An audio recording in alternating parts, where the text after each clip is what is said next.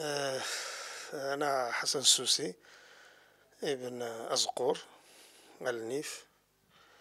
آه، قريت في في البلاد في أزقور حتى الشهادة الابتدائية.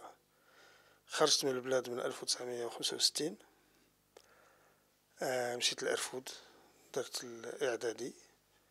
الثانوي درتو ما بين الراشدية ومكناس. ومن بعد مشيت لكلية الآداب بجامعة سيدي محمد بن عبد الله فاس. خديت الإجازة تم في عام ألف وتسعمية وثمانية وسبعين.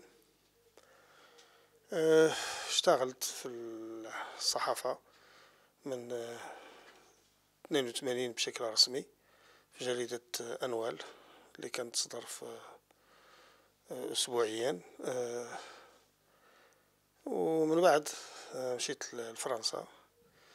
كنت مدير مجلة الشعب العربي في باريس والتحقت كذلك بلندن وأنا مقيم الآن في لندن حيث أشتغل في شبكة الأخبار العربية.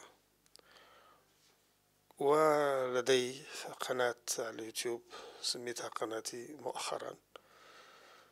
آه، آه، هذا هو كل ما يمكن أقوله عن نفسي.